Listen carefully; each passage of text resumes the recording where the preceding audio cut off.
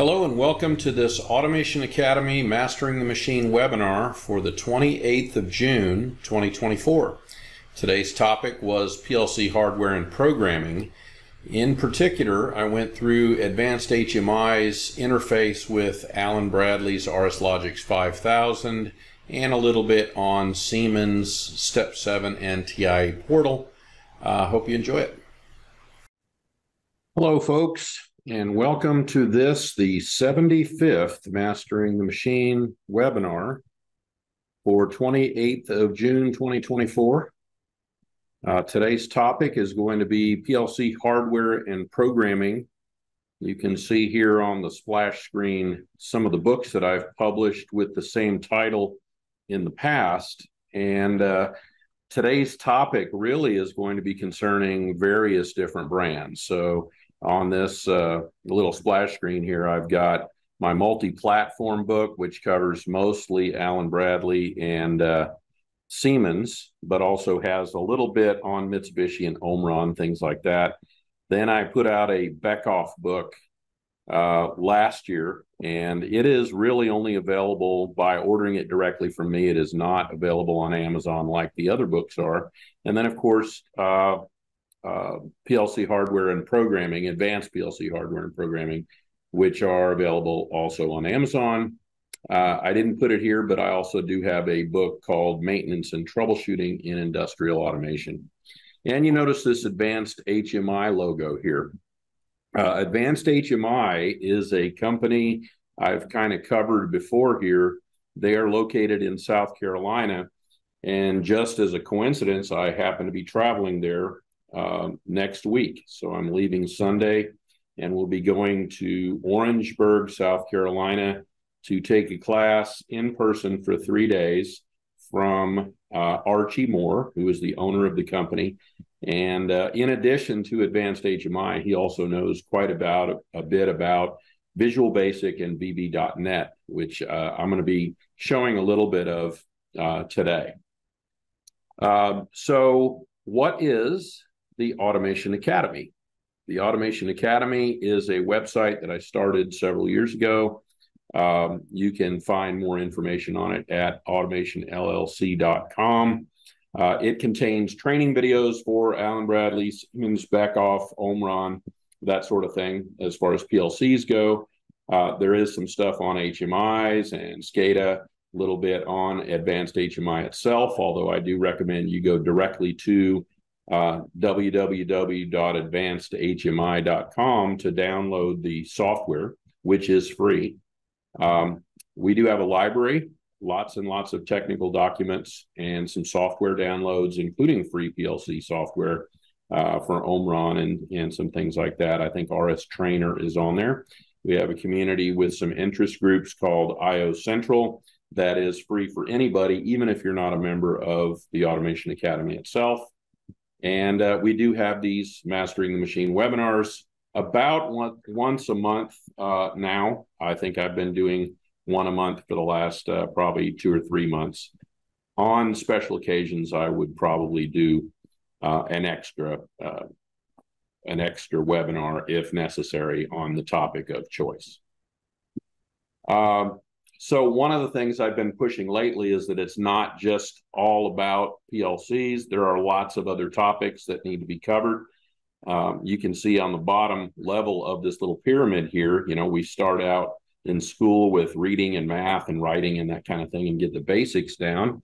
Uh, maybe learn a little bit of physics and uh, electricity, electronics, logic, that sort of thing. And then we decide to concentrate on industrial automation and we get into things like basic fluid power motors. Uh, we have to understand digital and analog before we get into PLCs.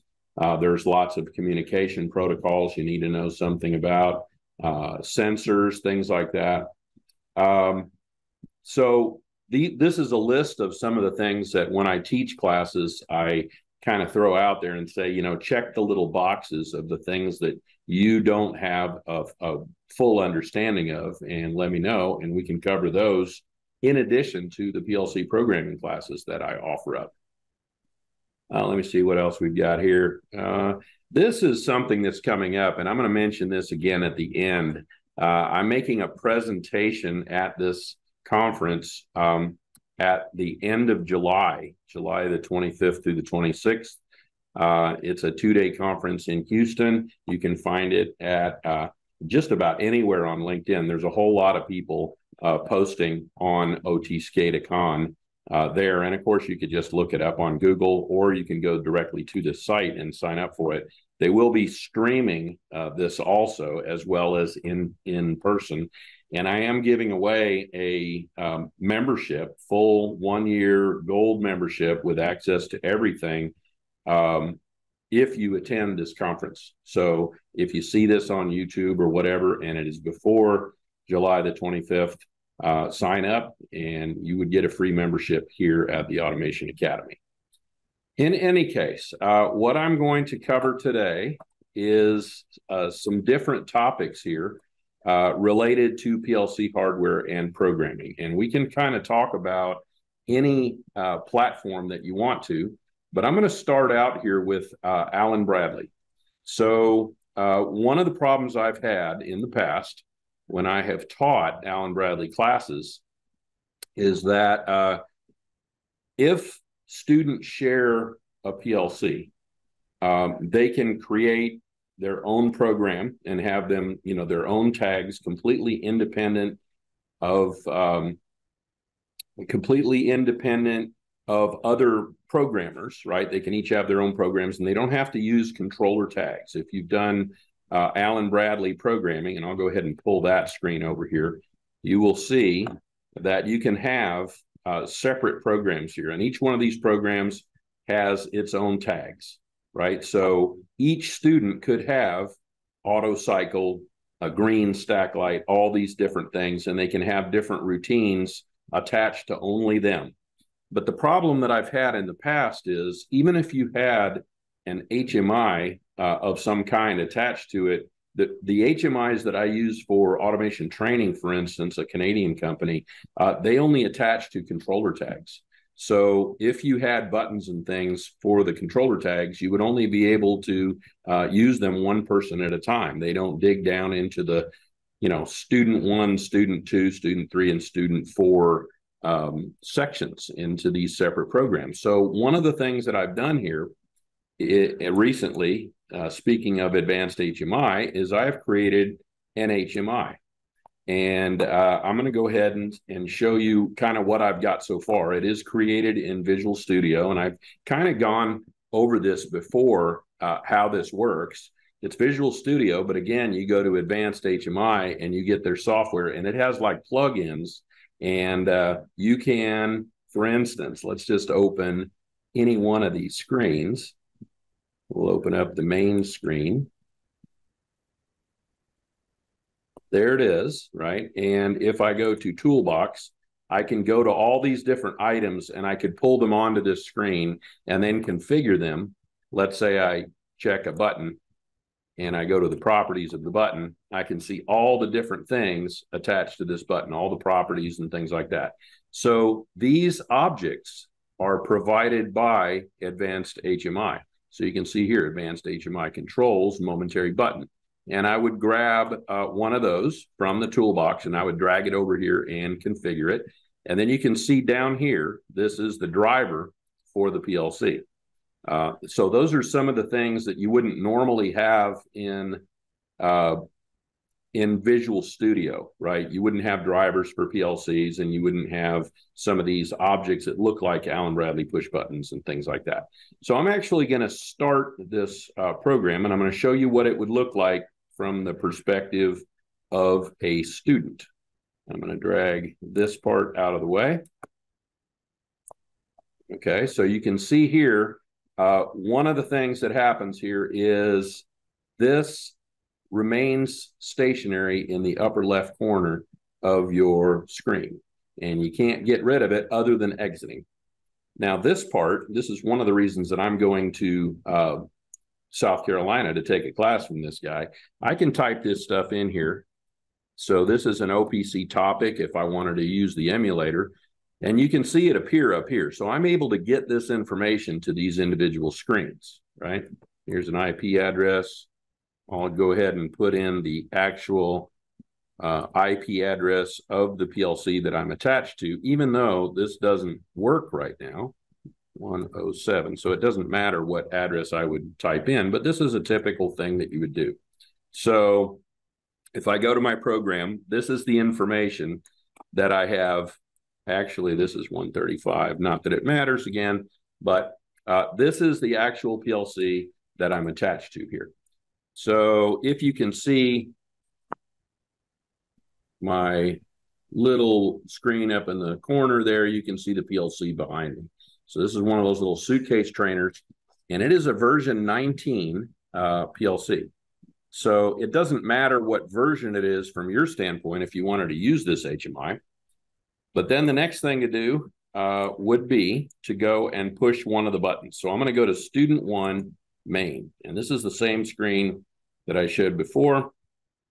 And there it is. So what this did, it's already connected because the driver works and I have a, a cable connected to the PLC and it is running some code in here. So if I push a button, for instance, right, the little lights, this is just a test program.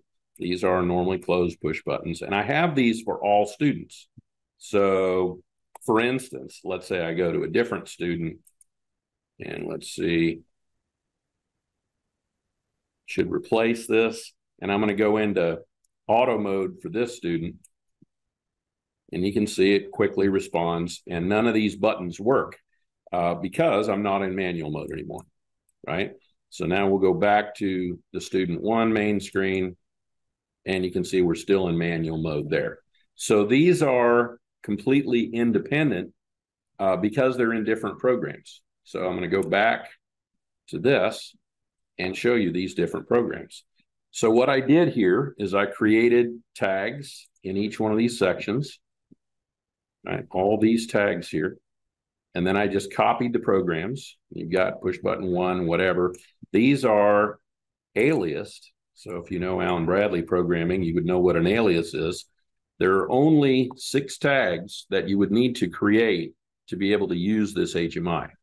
The other thing is notice that I have uh, covered up, right? When I drag this screen in here, I covered up the HMI. It is, a you know, obtainable again but it it gets covered up. But this screen here in the upper left does not get covered up.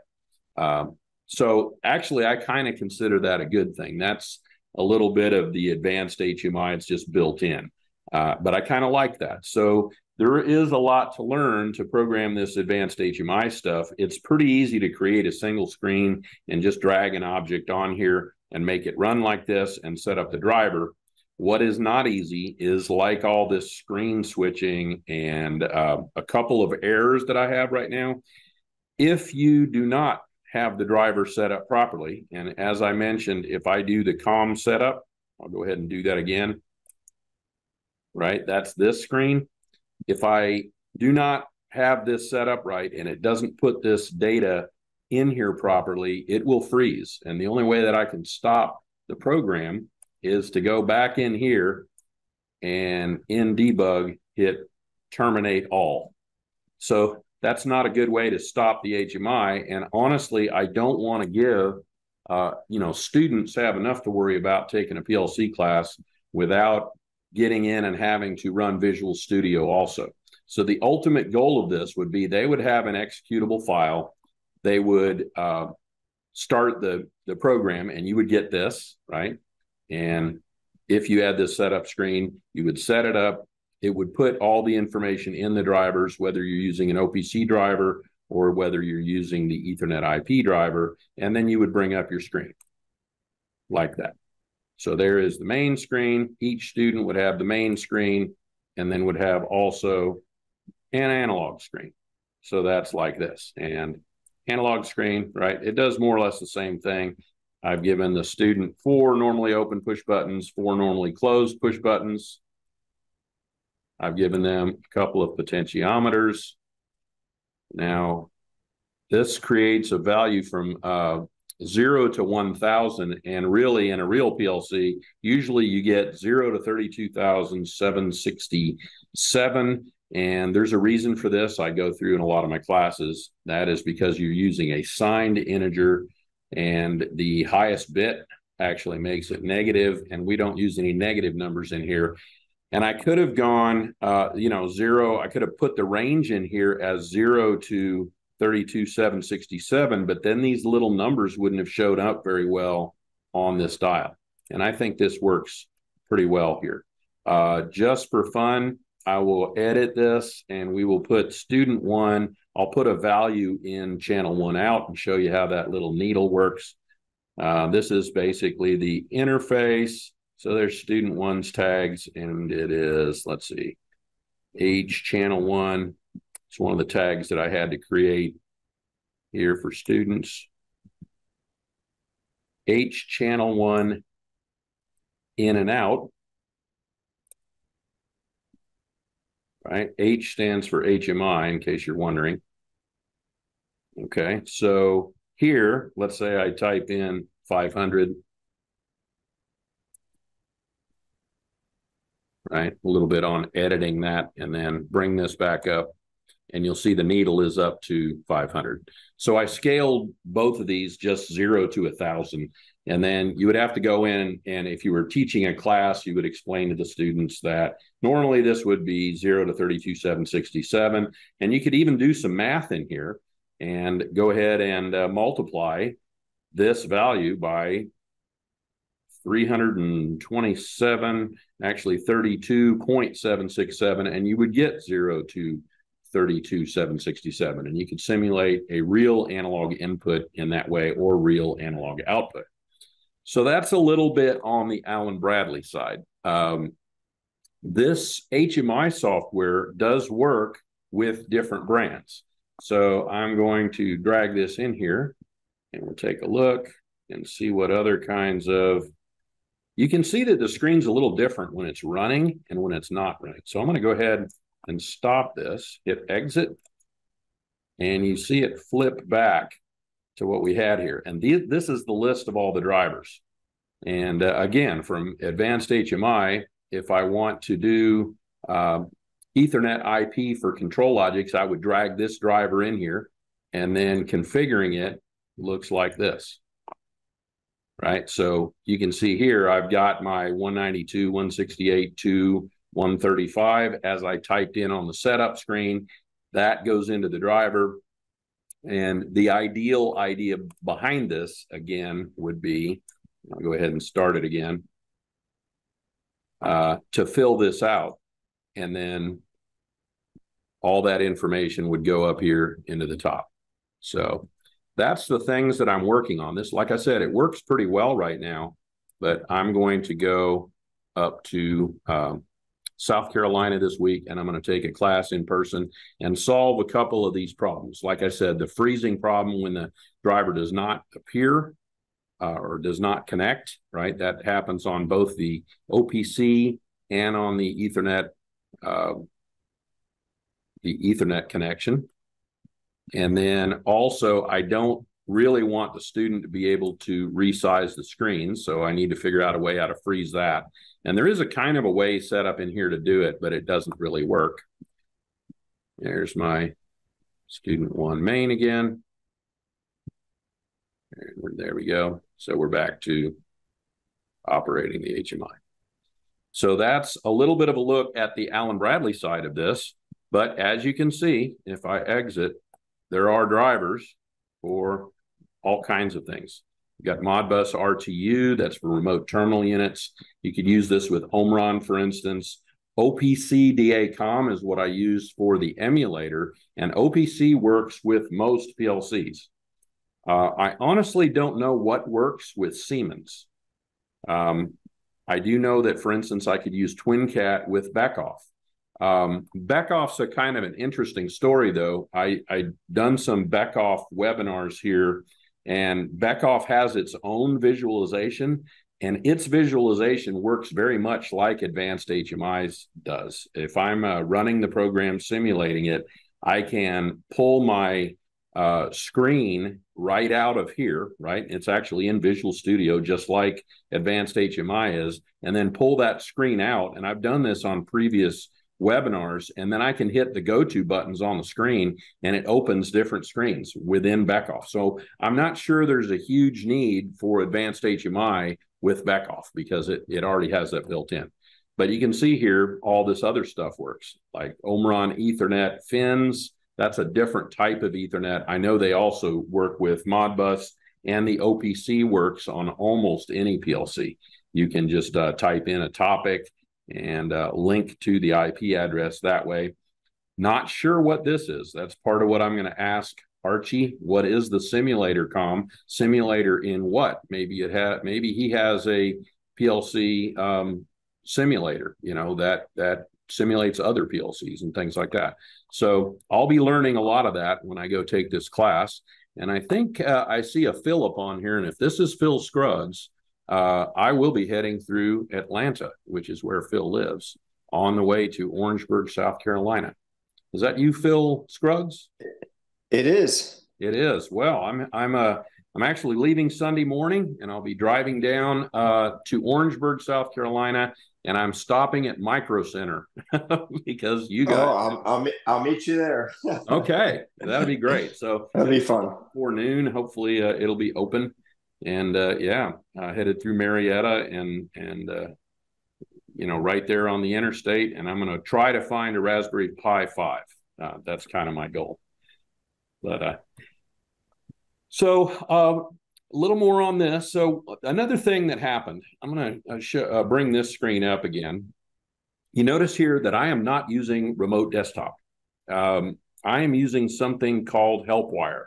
And the reason is I tried to use remote desktop and I had two really big problems. Um, I am using Windows 10 Professional on the computer that I'm on right now. It is Automation NTH's computer and uh, it has IT stuff all over it, right? So I'm an administrator, but I'm probably not a full administrator. And then the thing that I was trying to remote desktop to is this desktop, which is Student 14 5, which is an automation training Windows 7 computer, uh, Windows 7 professional. And while remote desktop does work between those two platforms, it keeps appending um, if I type in instructor, which is the login for student 14-5, since I am the instructor, but it keeps appending um, instructor at automationnth.com. Uh, and I looked at this up. If you guys can Google this yourself, but there are very few ways to get around that. That is a security thing that uh, I think people set up when when the uh, IT department owns your computer. They set it up, and it's really hard to bypass that. So I had to find another method, and this HelpWire does it.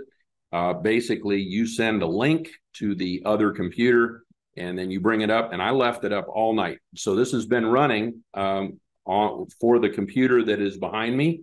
You can kind of see over here uh, where I'm pointing, and that that computer's running, and it's been running all night, and it seems to work pretty well. So if you ever have this problem um, where you can't connect with remote desktop, which I've done many times in the past, uh, try this HelpWire. It works, seems to work pretty well.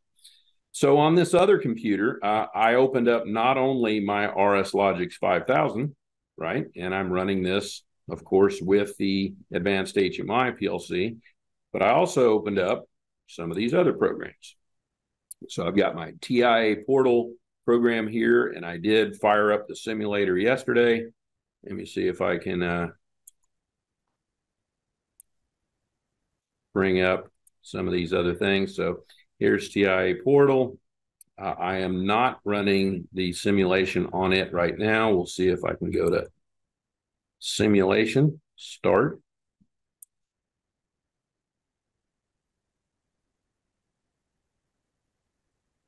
So here is my nice little PLC here, direct at slot one. And then I can take my program and theoretically load it. Let's do a search.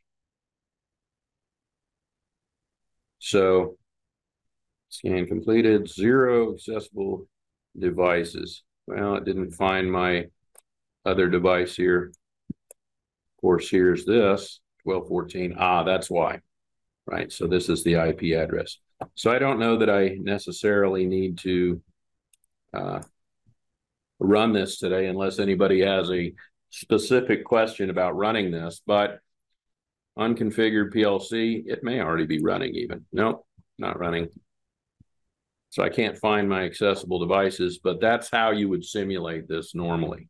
And I did have it running yesterday. And for whatever reason, it is not running right now.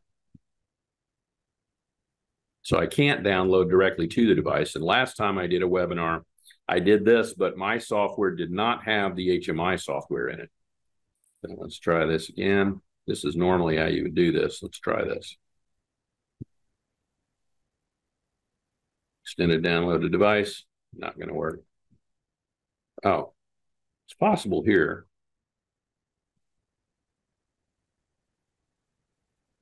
I don't like fumbling around while I'm showing this stuff, so I'm probably not going to mess with this much.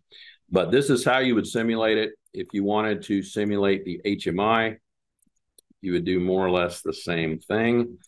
Uh, here is the HMI, which was the last thing that I did yesterday at a comfort panel. And this program was one that I used uh, locally here with a simulator. And so I named it Frank Zero uh, ABD because ABD was the one taking the class up here back in January. And uh, we we did this full thing with the simulator. Let me see if it starts this way. I'm not going to mess a lot with this. Simulation. Start. Of course, the simulator is already running. Only one unconfigured PLC simulation may exist. Okay. Well, that's a that's another feature of Siemens, right? It kind of freezes up here and gives you a little ball until you hope it's not going to time out after two minutes. I really don't need to wait two minutes.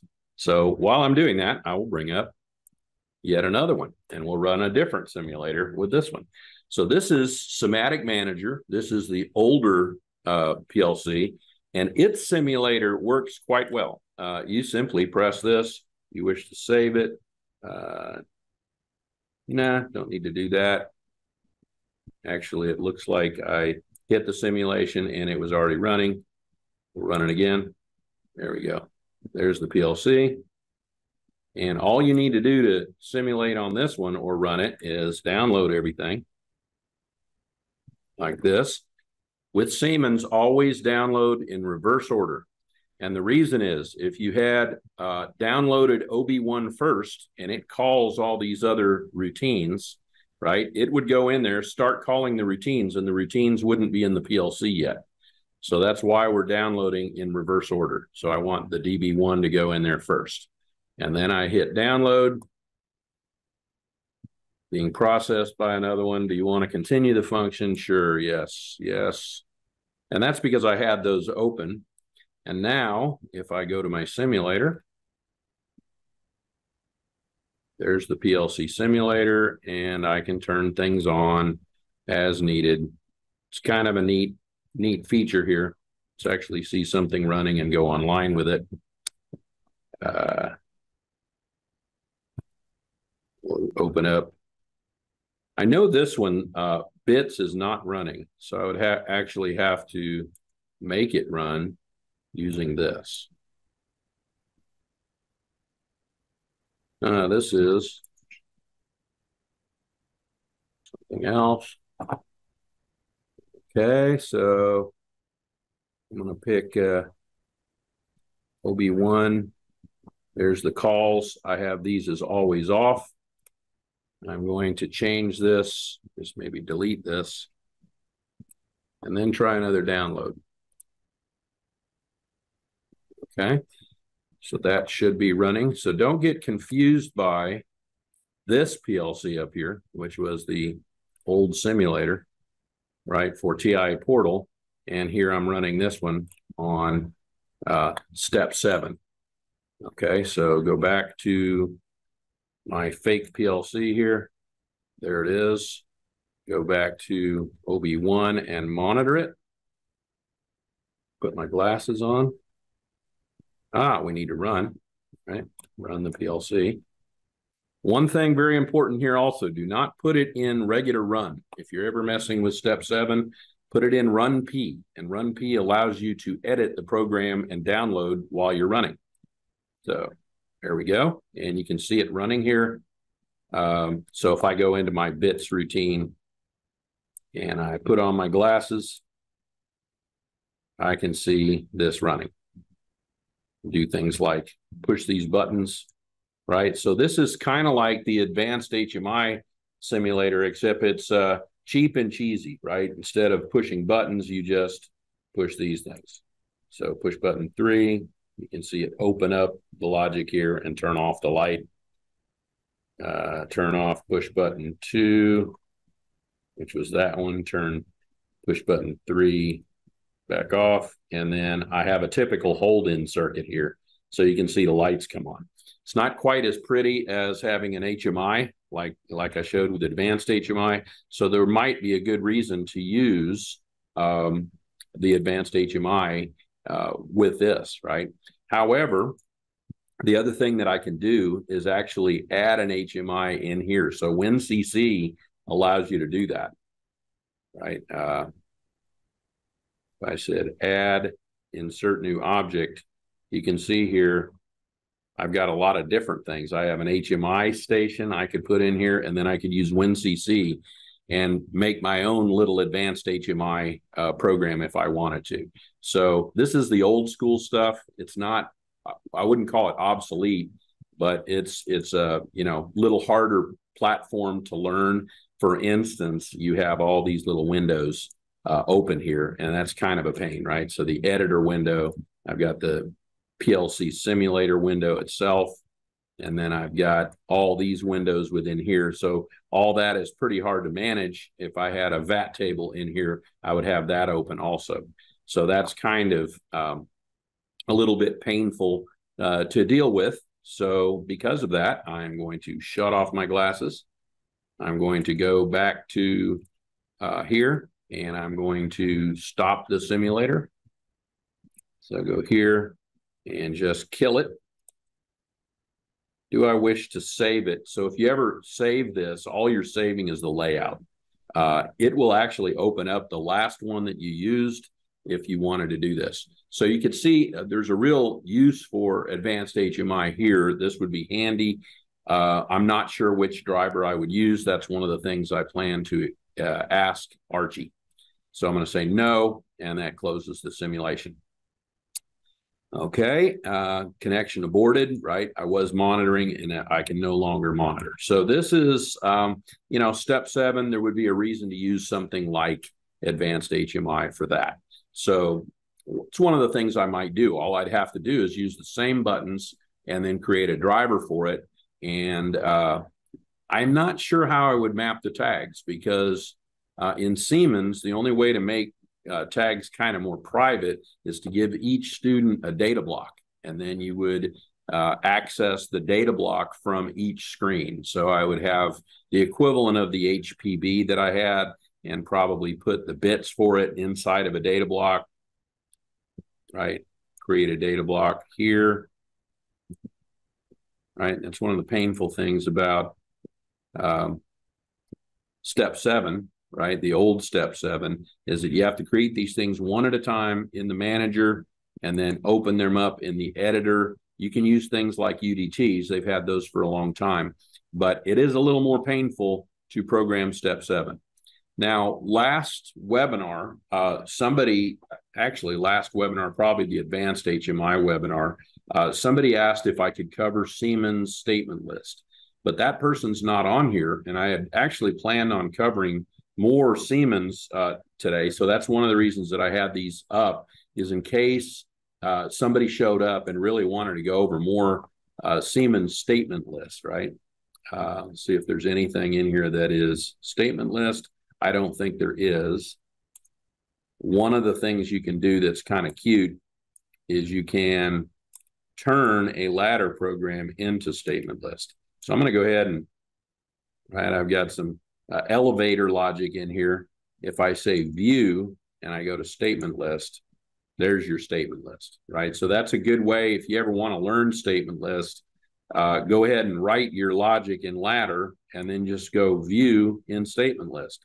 And you can see how it relates to the ladder. It's not really all that hard to read. Uh, this is OR, right? FLR1 call PB. There's the address for it, ORed with uh, this AND, which is elevator one push button. Let's go ahead and view it back in ladder. That's what the logic looks like. So it's ORed with this branch. Go back and view it in statement list. And that's what it would look like. So for anybody who is tuning into this on YouTube and really wants to understand the uh, statement list part of step seven, uh, this is a good way to first get into it. Now, there's a lot more you can do. For instance, if you want to do indirect addressing, the only way to do that in step seven using a pointer is using statement list. So you really have to understand this uh, to be able to do that. Right. So this is just ladder converted into statement list. And I do have in my book, if you anybody uh, here has advanced PLC hardware and programming, I do cover that uh, how to do pointers in statement list. I put some logic in there for recipe selection, and you can kind of see that. So what I'm going to do here, I'm going to go ahead and minimize this and minimize this. So that gets everything else uh, out of the way. And then we are to TIA portal. And I'm going to take a take a whack here since uh, nobody is asking any questions about step seven. I'm going to go ahead and uh, try to simulate again. So typically what you would do here is go here, right? Make sure you're, you've got your program open. And I tried this before and it didn't work. Do a simulation start. We'll disable all other online interfaces. That's important. And normally this works just fine. And I'm going to go ahead and try this maybe this time. We'll do a start search again. Not sure why I'm not finding my PLC. There we go. So I do have my PLC here, and you can see here, uh, the big thing here was I had to go the, with the PNIE, which I have always thought was the regular connection, but it's not, right? The direct at slot one, X1 is the direct connection, which is what I used before. And uh, so here's this right? And then I will load. So there we go, download to device, load it all. And this is the way to run this. Start modules, you do have to check this. Go ahead and start the PLC module and finish. Okay, so now I've got some stuff in here that should be kind of running. So again, it's kind of like my advanced HMI. I can pull this off to the side, hang it out there, and uh, again, turn on my glasses and see my logic. So I could toggle this push button, right? modify to one, and I can toggle it that way. That's kind of painful. So the better way to do this, right, rather than modifying things, would be to go ahead and bring up the HMI. So once again, I'm running here in my PLC. I can then go to my HMI and same thing, start simulation. I should be able to bring that up. Where is start simulation? There it is.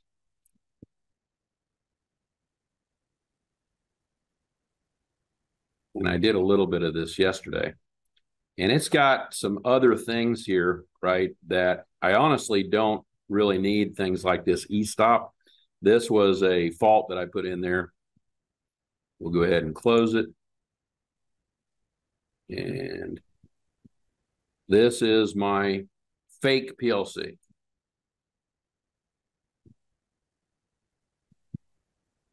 Okay, so the auto manual should be working here, but noted. There we go.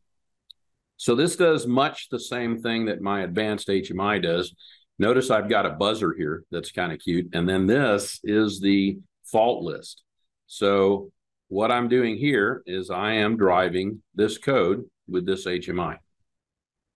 Okay. Um, and what I did here is like, if I have, this is an e-stop, right? So this is telling you, oh, you have an e-stop. Go ahead and do that. And then go ahead and press your power button and reset your fault. And now I have no faults. So this is some basic logic that I used for uh, the guys at ABD uh, to illustrate how to simulate both the HMI and the PLC and TIA portal. Once again, this is um, this is similar to what I had in the advanced HMI, right? Let's go ahead and uh, drag that over here. Go ahead and start it. And there we are again. And this time I'm going to just start it without even any addresses or anything. And you can see uh, here, I'm running my advanced HMI. I've got much of the same kind of push buttons here, right? Auto, manual, reset, just like I do here in Siemens. They both run at the same time. They're both effectively doing the same thing. Uh, but as I mentioned last time, one of the problems that I had, by the way, I'm going to click back on this and you'll notice that this advanced HMI screen disappears, right? Because I've brought this to the front. So my focus is here, uh, but this this made the advanced HMI go behind it. I kind of like that. So here, it's going to do more or less the same thing. I should be able to bring this screen up, right? So I can go to my PLC, I can go to this, but there's nothing permanently uh, in front here you know, like this screen is. But I don't think that's going to be a drawback when doing the RS Logix 5000 stuff. So those uh, are, are a look at three different ways to simulate uh, programming with PLCs. As I said, uh, Siemens, if you have WinCC installed, which I do not, I bought the um, the micro, which works with the 1200s and uh, installed it on my computer. It's version 17. It did not have uh, WinCC in it. Uh, I believe it did have the simulation, but even that I think was hard to bring up. So the only thing I've got here uh, for TIA Portal is this version 15, right? Which I'm using here, TIA Portal version 15. But you can see the simulation works pretty well. If you happen to have this software, then you wouldn't need something like advanced HMI you would simply, oh, we got back to this, right? You would simply uh, use the built-in software, right? The WinCC software. So TIA Portal works pretty well if you've got these. But the big advantage to advanced HMI is it is free. If you can navigate through creating screens like this, then it is free and you could use it to access the PLC of your choice. So that is a look at everything today. A uh, little bit of advanced HMI, a little bit of Allen Bradley programming, a little bit of old school Siemens, which is minimized now, and I don't have access to the bottom of the screen, and a look at TIA Portal. Uh, I've done a lot on Beckhoff uh, before. Course, I have Beckhoff installed here. If somebody wanted uh, to look at uh, the Beckhoff programming. I could get into that, but uh, there's a little message from uh, Phil. Thanks for showing up, Phil. Um, but that's a that's a look at some of the different methods of simulating. You know, very basic stuff. I think uh, the typical auto manual right uh, routine and the stack light illustrates how to do this. I always love this little e-stop and I've done the same thing over here. Have the e-stop, uh, can create a fault that way, reset the e-stop, hit the power button, reset the fault, and you get the general idea. So this is typically the way that I uh, introduce people to PLCs if they don't already know it. And I think advanced HMI is going to be a great tool in helping me do that. So back to uh, this, notice this stays in the front. And to get rid of this, I'm going to go ahead and hit exit. Uh, so it's not all about PLCs. You got to know things about data. You got to know things about, of course, electricity and things like that. And in in addition, you've got to know about things like Visual Studio, which will help you create lots of other logic. It's the typical if then else stuff. And then there is your typical ladder logic. Another look at OT SCADACON coming up end of July. Encourage anybody to investigate that. You can either go to event, event create or connect with me on LinkedIn. I put lots of ads up for OT SCADACON since I'll be speaking there. Uh, you do get a free membership to the Automation Academy. If you attend OT SCADACON, buy a ticket, either do it virtually or in person. There is lots of swag there. They're giving away uh, Siemens PLCs, and uh, PLC Next PLCs. They're a sponsor. Phoenix, uh, Siemens, Ignition. I don't think Ignition's giving away any free Ignition uh, software. That would be awesome. But Ignition's another platform that you can install for free and run for a, I think two hours. It'll run for free. Uh, and then Beckhoff, right? Beckhoff's another one I believe that is a sponsor. Their software runs for seven days. So pretty awesome stuff. Uh, that is pretty much the end of the webinar for today. Uh, the next webinar will be July the 20th, 2024. That is right before OT SCADACON. That is the weekend before it. I do not know what the topic will be. Might even continue on this topic since I kind of uh, hit a bunch of different things. If anybody wants me to cover more things on PLCs, simulations, HMIs, by that time, of course, I'll be back from uh, advanced HMI, so I'll have a lot more information on how to do all this fun stuff. Uh, but anyway, that's it for me for today. Uh, we had a pretty good day of it. A few people showed up. I appreciate it as usual. And we will see you all later.